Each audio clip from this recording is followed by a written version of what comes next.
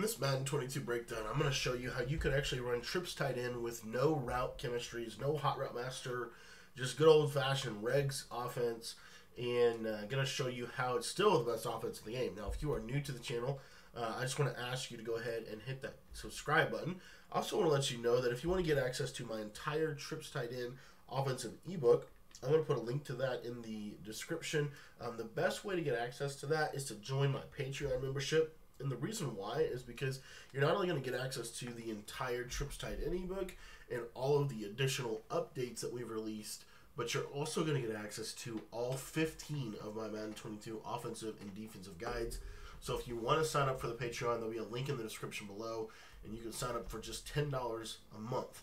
And the cool part about it is you can cancel whenever you would like to, uh, but as long as your subscription is active, you're getting all the updates, um, anything new, any new ebooks, any new uh, updates to any of the current ebooks, any exclusive tips, uh, as well as messaging platforms to be able to ask your questions. So if you want to sign up for that, again, there'll be a link in the description below. Um, all right, guys. So I got a question uh, on a recent video that I did and the question was basically asking me, you know, hey Cody, uh, love the content, but I play regs, and so I don't know how to run the trips without a tight end apprentice or a hot route master. Well, we're going to show you in this video uh, a real easy way to do that. So I've got the Packers here. I'm going to put Adams at the slot, and we're going to go over my two of my favorite concepts. So the first one that we're going to run through is a play by the name of Pat's Y in and then the, and I've talked about this before. And then the second one um, we're actually going to come out in, which is PA counter go.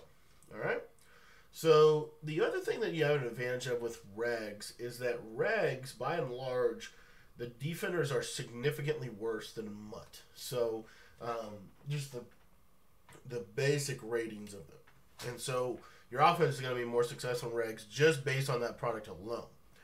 But we can still use certain plays within this formation to create some of the key route combinations in trips tight end, and I'm going to show you how to do that in this video. So the first one is PA counter go, and by far my favorite favorite play in the game. I'm going to give you two route combinations out of this one, and then I'm going to give you one out of Pat's Y in for certain situations. Okay. Um, what we're going to do with uh, with PA counter go, the first setup is we're going to flat the inside or the outside slot we're going to in, in route the outside receiver, and we're going to streak the tight end. Now, pretty much for most defenses, this is literally the only route combination you're going to need, especially if you have Rodgers. Like, it's really, really, really good. Um, this route combination. It's very good against any defense. They're going to have to have really good user in Mabel coverage uh, to be able to have an even chance. Notice that Rodgers, because he has gunslinger and pass lead lead, is probably the most roided throwing animation quarterback um, in the game. So what that's going to mean is he's going to be able to get the ball off quicker than anybody else will. And so that is part of why this team is so good. If they're playing cover three, don't sleep on that route. Rodgers throws that route better than any quarterback in the game. And then the other cool part that I didn't talk about yet is let's say they're playing purples over there on the left side. If they're playing like Mabel concept or something, what you'll be able to notice here is that the purple will suck into the in route and the flat will be open. So you've got a lot of power in this one concept to be able to beat 90% um, of what they're going to do to you defensively. You know, they're going to have to have very specific adjustments uh, to be able to defend this. So, as you can see, just a very good concept. The second concept from PA Counter Go is every bit as good. What we're going to do is we're going to flat the inside or the outside slot. We're going to slant the inside slot. So we flat the outside slot, slant the inside slot. And then with a tight end, because we don't have a tight end apprentice, we're going to put him on a smart routed in route. So you see it looks like this. Now this in route is really underrated. You're going to see it gets pretty good depth, and look at where it kind of gets to on the field. Um, it gets into a really unique spot it's going to get underneath a lot of zone coverages in the game. So one of people's very popular ways to defend trips tight end is to use um, to use a cover two defense. What you're going to notice with this is this little slant in route combination here. You see that that in route, especially if they run 30 yard cloud flats, he'll get into a spot on the field where he'll be able to get open against that. So if they're running 30 yard cloud flats, you got a really good chance at that in route uh, getting open. Uh, and then also, especially if they're running Mabel, same thing. It's going to get open because he's going to get he's going to have the whole middle of the field to work. Now, if he's not open, you typically are going to have this flat right there.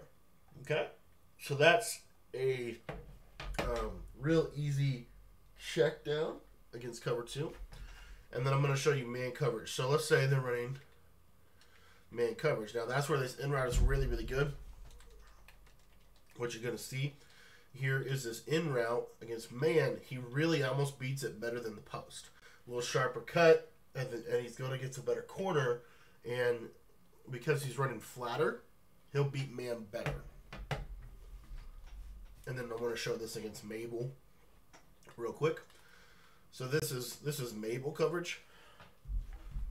The thing about Mabel is you have the whole middle of the field to be able to work. And that's what makes it so good. So here's your setup, real simple. And then what you'll see here is against Mabel, it just really does a good job. Because uh, it still goes about 15 to 20 yards, just like a post does. Now, want to move on to our next uh, series of setups, which is centered around a, post to the outside receiver. We're going to use PatsY in uh, for that. Now, all we're going to do with this is we're going to smart route the post. We're going to uh, zig the inside slot. We're going to slant the outside slot. So you see it looks like this. And then uh, I like to smart route the tight end, just going to make it go a little bit deeper. And then with the running back, you can do whatever you want. You can block him if you want to. Um, I typically don't. I typically put him on an out route, so I have a quick read. And this is my favorite play for man to man. So if they're going to run, um, if they're going to run man to man, this is a very very good play because we're going to force the user in the middle of the field to have to make a decision. Who's he going to guard? So you're going either to your out route. No, okay. Look at this tight end route though. Very good. It's basically the same as the in route, but it's a little better. Um, and then the other cool part about this uh, PatsY in play is we have this skinny post, which, like I said, a lot of people will try, especially in regs, because they know you don't have outside apprentice. They're going to try to defend you like this. Well, the problem is you do have this play um, PatsY in, where this post will cook cover two. As you can see, gets over the top of the cover two. Right there, I threw it just a little bit early, and I'm going to show you a bomb play um, for every coverage here in just a second. But again, we're just going to smart route the post. We're going to slant the inside slot. Uh, you could slant, you could do it like this, or you could do it like this. So if you think it's man, I'd probably go with this setup right here. If you think it's zone, then I would probably go with this setup right here. Okay? Anyways, if it's cover two, you'll typically be able to hit this. You just got to wait on it a little bit more. But there you see Rodgers can make that throw. And you're going to get over the top of the cover two. So very, very good little couple concepts here. Um, I'll give you I'll give you a couple more, um, and they're more for this side of the of the field. So if you're on this side of the field, you can run your PA corner. And real simple, all you're gonna do is you're gonna streak Cobb, you're gonna zig Scantling, and then you're going to curl Tonyan. And what you're gonna see is this a great play for um, just attacking this side of the field. If they're not, if they don't have zone drops over there, it's a very, very good play for that. You have PA of go to attack the zone drops on the right side. So you have kind of a, a two for one deal. And then verticals, one of the most underrated plays in trips tight end. You're just going to put your running back on an in route. And, I mean, it's just a really, really, really good concept. There, my guy got The one thing I don't like about it is sometimes I'll run into the, to the corner. But um, as long as they don't, this is really a great play against cover three. I'm going to show you something real quick. Um, that is that you can hit this seam right there with the pass lead. As kind of butchered the pass lead there. Let me show that one more time. So what you want to do is you want to pass lead this. It's actually really good um, against Mabel. But what you want to do is you want to pass lead this kind of up right in that little window right there. It's a real tiny window, but there is a window there. And if you lab it up, you'll be, you know, even better at hitting that. So that's verticals. Um, I hit on PA slot corner. One last thing about PA slot corner that you can do with this is you can utilize this post to cop. So if you wanted to go with a mesh post kind of setup like this, you certainly could. This is a great little concept. Most people don't run this, but I think it's one of the better, most underrated concepts um, in the game. Obviously, cover four drop, you got to have a pull route for cover four drop. But any other defense, if it's cover two, cover three, and I'll show you that real quick.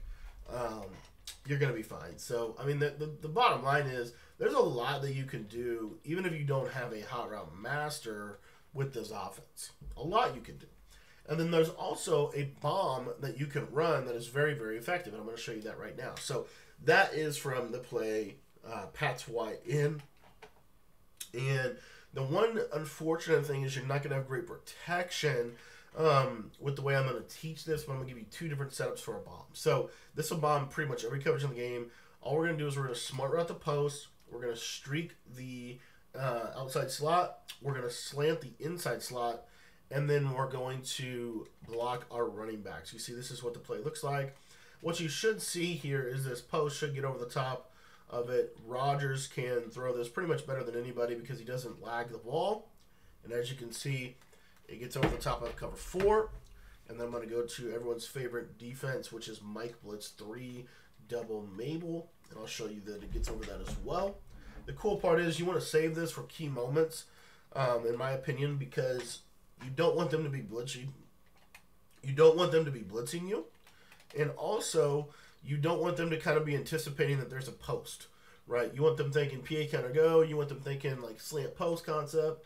But then you hit them with something like this because it looks exactly the same as your slant post with like one other small little adjustment. So that's cover three. So I went over cover four. Um, I went over cover three. Now this is cover two.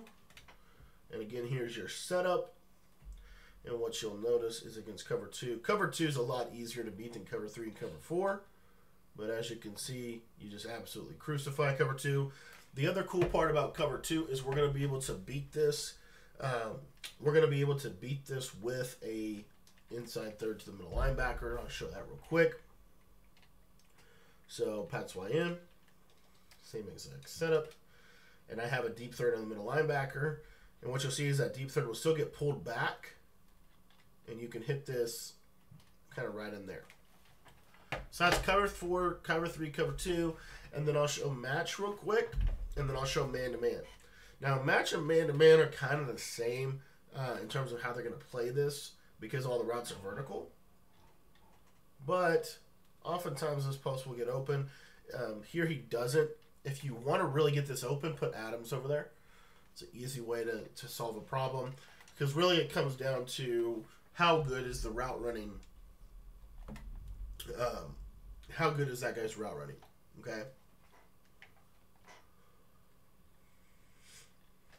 And that time he beats him. There you see it. And again, that was cover four.